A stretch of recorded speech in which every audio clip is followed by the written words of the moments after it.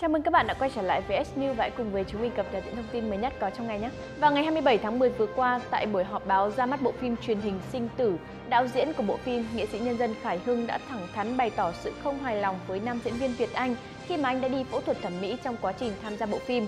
Và cũng theo vị đạo diễn thì đây chính là biểu hiện của sự thiếu chuyên nghiệp.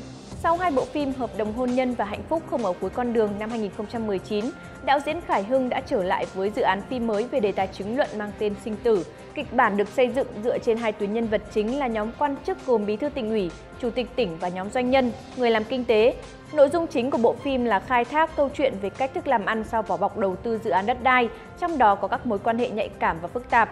Ngoài ra thì bộ phim còn gây chú ý bởi sự góp mặt của dàn diễn viên ngôi sao như là nghệ sĩ nhân dân Hoàng Dũng, nghệ sĩ nhân dân Trọng Trinh, nghệ sĩ ưu tú Đỗ Kỷ, Thúy Hà, Việt Anh. Trong buổi họp báo ngày 27 tháng 10, nghệ sĩ nhân dân đạo diễn Khải Hưng đã có những chia sẻ. Ông cảm thấy không áp lực, vất vả khi nhận lời làm đạo diễn bộ phim với chủ đề gai góc. Tuy nhiên thì ông thật sự cảm thấy không hài lòng với nam diễn viên Việt Anh khi mà anh đã đi sửa mặt trong quá trình tham gia bộ phim.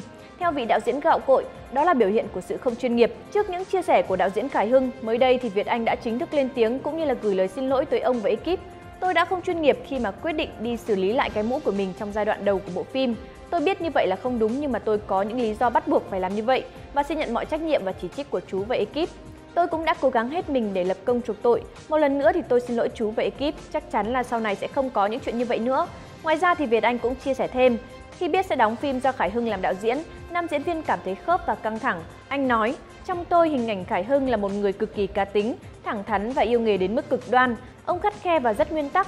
Tôi đã hình dung ra viễn cảnh khi làm phim với ông thì sẽ có những thời điểm rất căng thẳng vì tôi biết cá tính của tôi và ông có những điểm khá giống nhau nên có thể sẽ va vào nhau khi bảo vệ quan điểm của mình. Tuy nhiên thì rất may là Việt Anh và đạo diễn Khải Hưng đã phối hợp rất ăn ý để cùng phối hợp và xây dựng một sản phẩm một cách tốt nhất. Chính vì vậy mà sinh tử hứa hẹn sẽ mang đến nhiều kịch tính và vô cùng hấp dẫn cho khán giả. Chúng mình là S News và các bạn đừng quên like, share và subscribe để cập nhật những thông tin mới nhất có trong ngày nhé.